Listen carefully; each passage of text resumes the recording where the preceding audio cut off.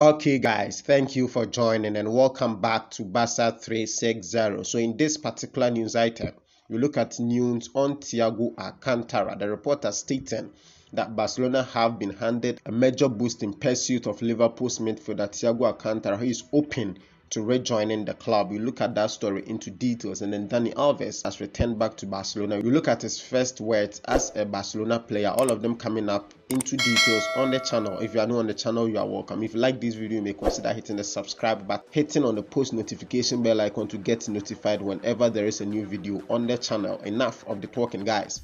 Let's get straight into the video. According to Portuguese journalist Pedro Almeida, Thiago Alcantara is weighing up the possibility of rejoining Barcelona. The Catalan Giants are keen on bringing the Liverpool midfielder back to Camp Nou following the return of Dani Alves this week. Thiago started his club football at Barcelona before joining Bayern Munich in 2013 after seven glittering years with the Bundesliga heavyweight, the Spanish international made his way to Liverpool in the summer of 2020. However, the move to Liverpool has not worked out as envisioned for the 30-year-old who has been hampered severely by a spite of injuries. To date, Thiago has made just 37 appearances for Liverpool, chipping in with a goal and an assist apiece along the way. The experienced midfielder is still rated highly, though with the former club Barcelona keen on re-signing him. The interest from Barcelona is interesting but understandable.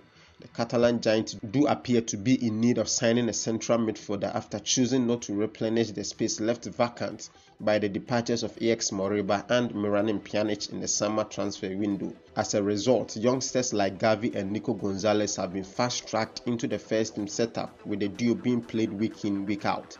That does not bode well for either of them at their age, as Pedri has found out cruelly after playing nearly 70 games in the past year or so. So it is not surprising at all that Barcelona have set their sight on Thiago although they have also been linked with several other midfielders. However, the eagerness to re-sign Alcantara comes straight from Xavi, who has already overseen the popular return of Dani Alves. As far as the pursuit of Thiago is concerned, the 30-year-old is considering the possibility of rejoining Barcelona. Such a development comes as a huge boost for Barcelona, who will now hope to re-sign the Liverpool midfielder on a free transfer on a fee that aligns with their financial means. What now remains to be seen is if Thiago indeed returns to Barcelona anytime soon or if he stays put at Liverpool. Moving away from there, Dani Alves has heard some few words ever since becoming a player for Barcelona. Dani Alves really can't hide his delight at being back at Barcelona for a second time after sealing a move back to the Catalan Giants on a free transfer. The Brazilian will join his teammate for training next week, although he won't be able to feature until January at the earliest. Still, Alves is in a typical upbeat mood and has told fans he wants to help rebuild the club. In his video message that has been put up on social media, he said, Hello, Culés. I'm here in Barcelona. I'm here with you guys. I'm very happy to return home, he said.